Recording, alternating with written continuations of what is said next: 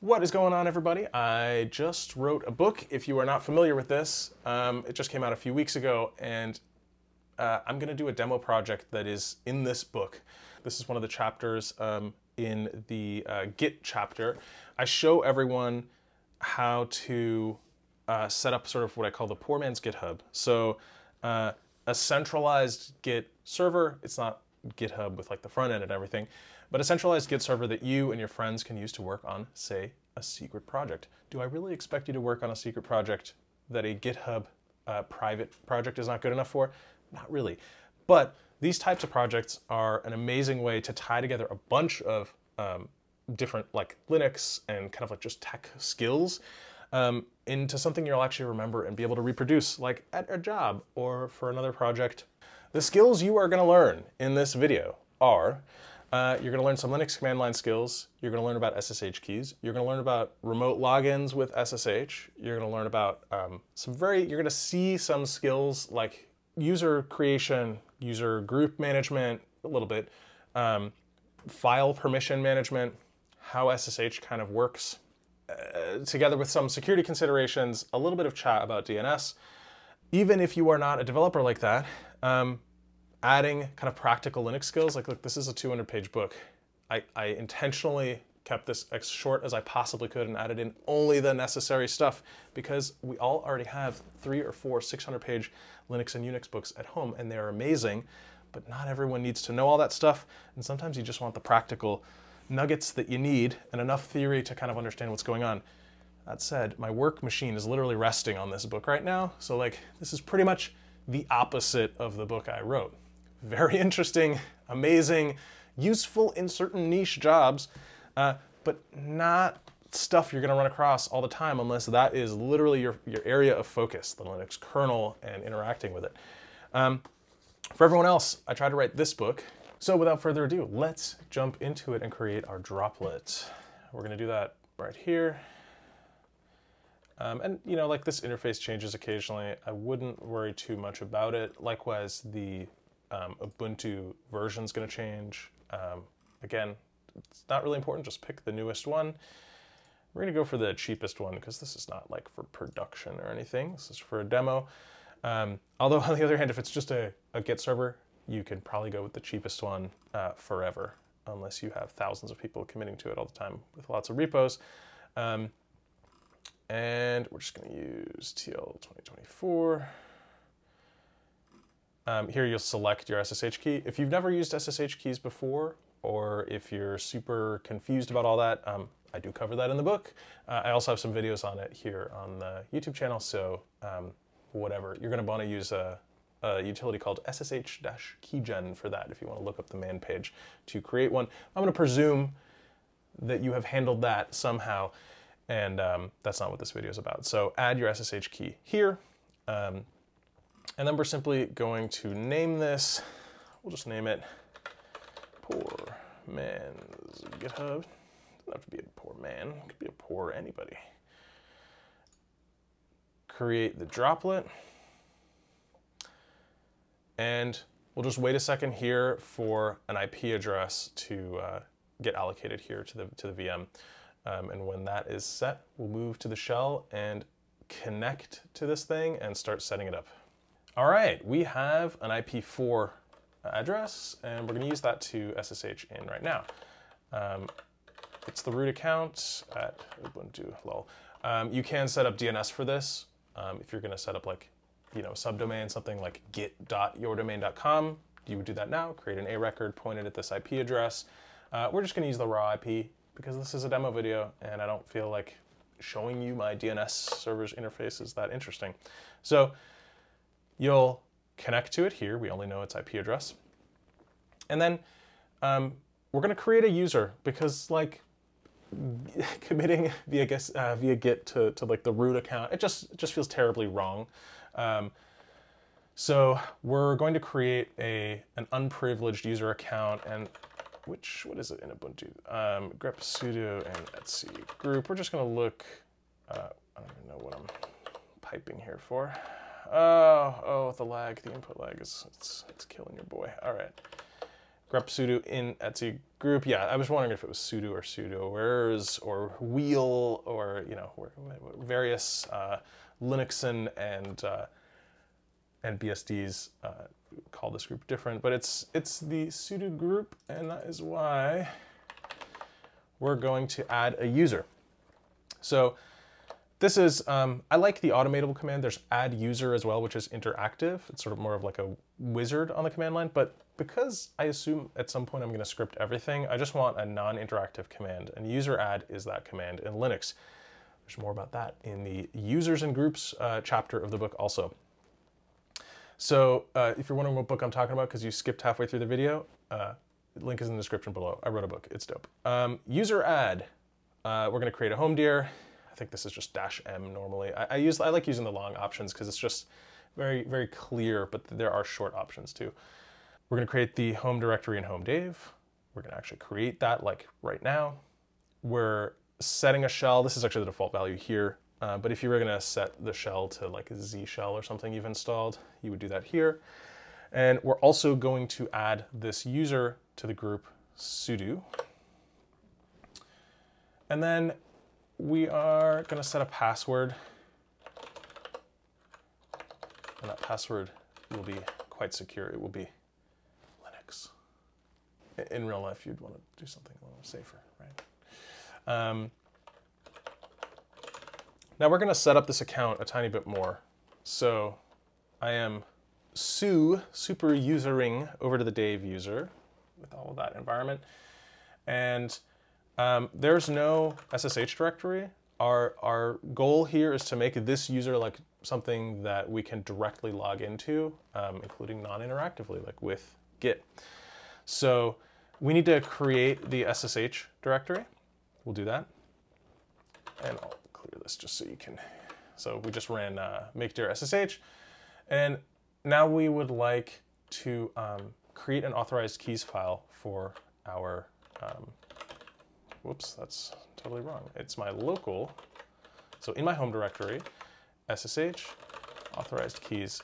Now this is just sort of like a magic incantation, right? The authorized keys file is what the SSH program looks for to see if a key like coming in matches the public key in any one line of this file before it lets somebody in. So uh, that's how it knows who is allowed to use uh, to log in as the user Dave. Well, it's whoever brings a key whose other half matches the, uh, the keys listed here on each line of authorized keys.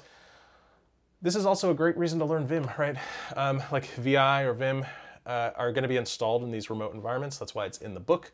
If you're a software developer, um, and you have to do this. It's like this is one of those like you can't use your IDE. I'm sorry, there's no mouse. It's a server. You're gonna have to do this um, on the command line with a command line editor. That's Nano uh, is fine too. It's not installed everywhere you might encounter, but VI or Vim or Vim likes are going to be everywhere. So if you know those uh, key bindings and stuff, if you're comfortable there, um, that is super useful for that reason. So here, um, grab your public key. Um, and paste it in here. And we're gonna actually just write and quit this. And there's one more thing that you'll have to do, and this is where everybody falls down, including me, every time I forget it.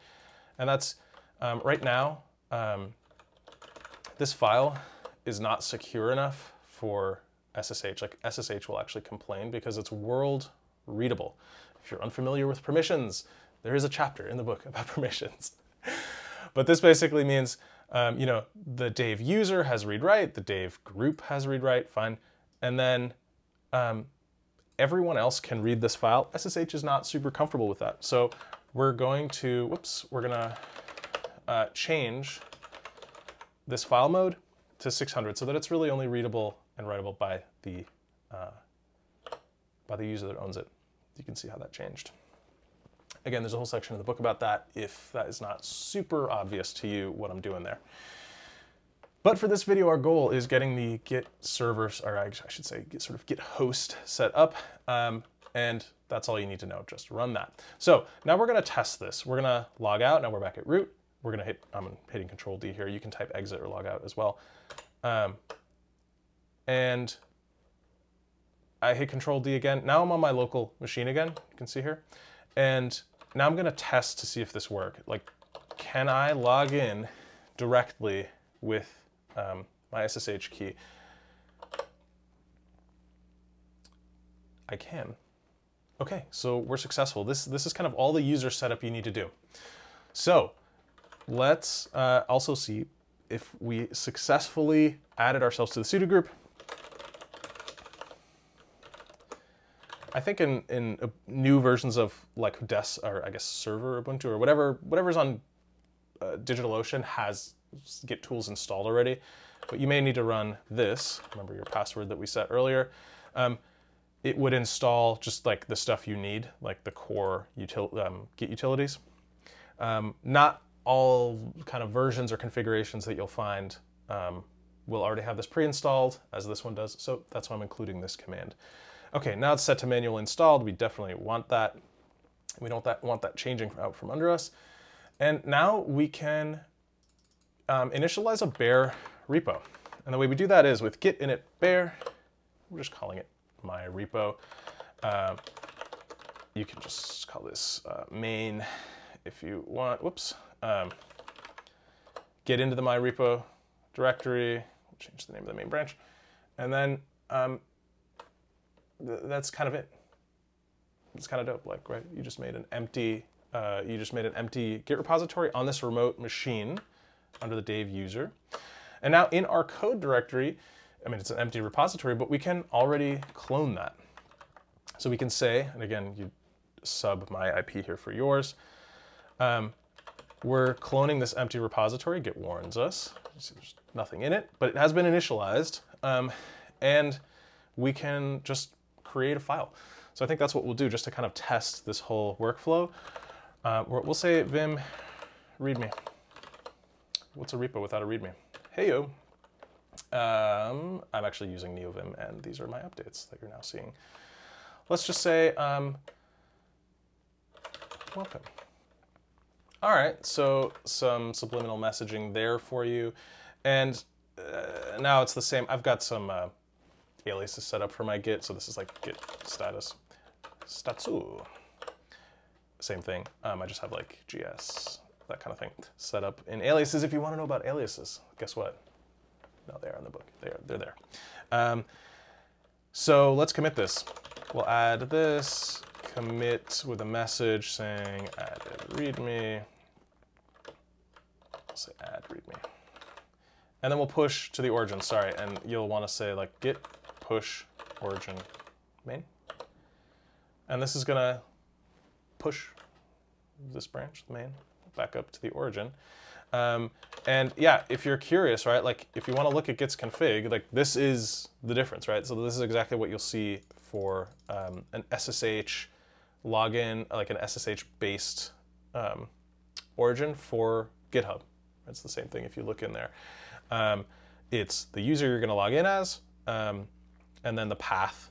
Um, if you're familiar with uh, like rsync, SCP, any kind of these like working with files across remote machines, this, this syntax should be very familiar to you, where it's like user at host, colon, and then like a path on the host side. That's something worth uh, memorizing um, or just getting comfortable with. So let's get back on the host. Um, actually, there's really nothing to see on the host. It's a bare repo. Um, let's get into the temp drive and clone again this. So like we're just going to pretend to be a new like user on a different machine. We're just in a different directory, but it doesn't matter. We're going to clone into that same repository. I'm just doing this in my temp directory. And we should be able to see the changes that we just made. So like this could be your friend also working on this top secret project uh, on a completely different host, right? As long as they have um, SSH access to that user, you need to add like your friend's SSH key there. Um, but now, if like both of your computers get nuked, um, you know, you do have a central host um, that you're both using to push your changes to. So it's a nice way of backing things up that you don't want to uh, have on GitHub.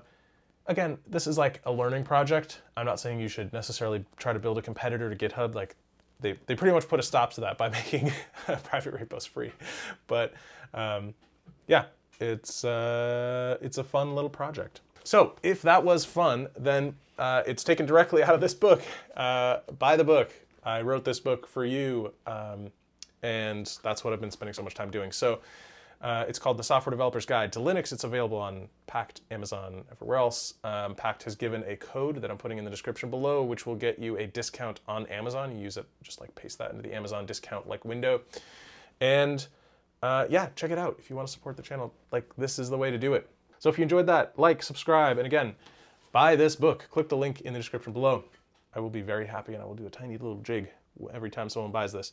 Uh, appreciate y'all. See y'all in the next one. Peace.